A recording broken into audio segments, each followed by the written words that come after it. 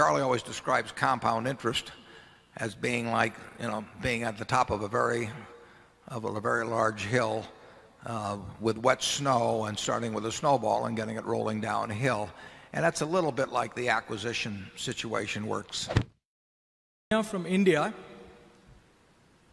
Sirs, if I were to take you back to the start of your invest, investing careers, I assume it would have been harder for potential acquisition opportunities to come by.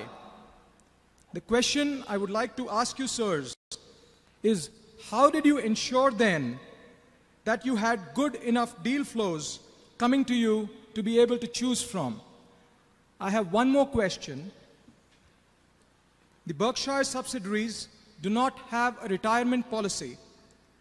What are the implications of this on retaining and motivating employees who are potential successors to senior management?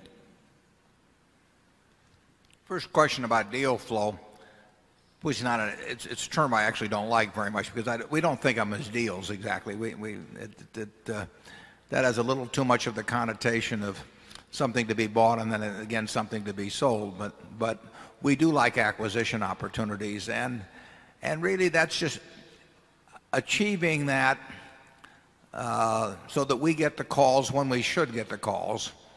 And there aren't lots of those because we're talking about good sized businesses. We're talking about owners that love their businesses and and it's going to happen occasionally, but it's going to happen a few times a year probably.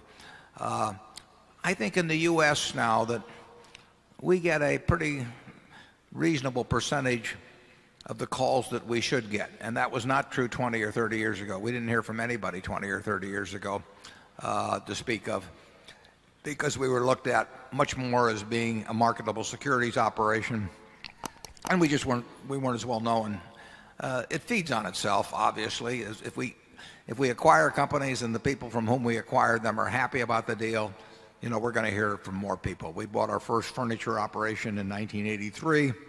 That really led to 4 other transactions because the people in the first one were happy and they talked to us about the second one and the people in the second one were happy and so on. So, you know, it's like a Charlie always describes compound interest as being like, you know, being at the top of a very of a very large hill uh, with wet snow and starting with a snowball and getting it rolling downhill.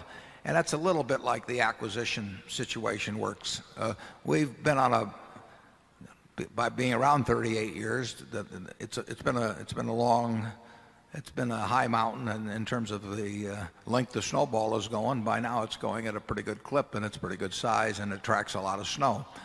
Uh, and that's that's good for us. Outside the United States, we do not seem to be on the radar screen. So we don't seem to hear about those as much. But we we're hearing about enough in the United States.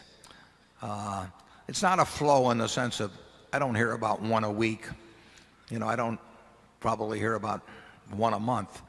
But the ones we want to hear about, uh, most of them I think we're we're getting the calls now. I think we're getting a higher percentage of the calls now than ever in our history we would have gotten.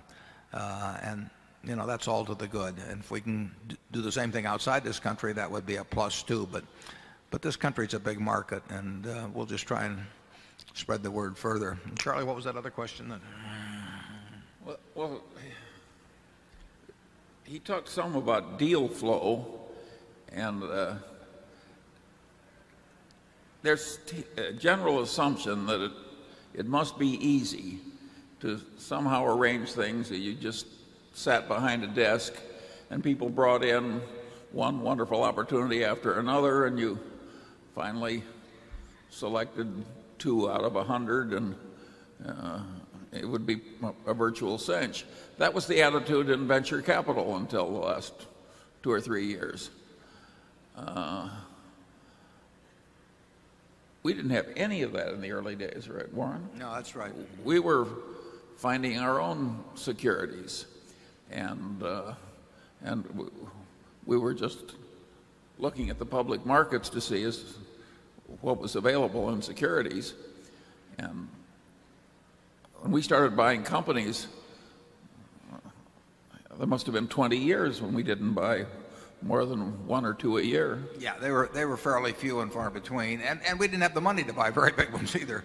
Uh, I mean, it was a big deal when we bought Associated Cotton Shops for what in effect was four million, or when we bought Hochschild Kohn when we had to come up with six million of equity, as I remember, for that deal.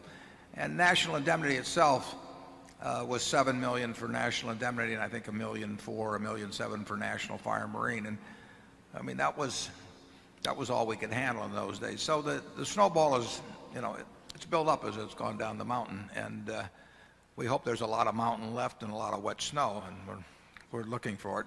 But it's fair to say that we were rooting around for those opportunities. We weren't sitting behind our desks and waiting for some commission salesman to come in and present us with opportunities to sign our name.